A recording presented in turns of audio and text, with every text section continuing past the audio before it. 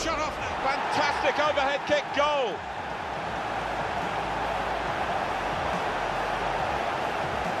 Well, that is one that we'll look at again because it's so eye-catching.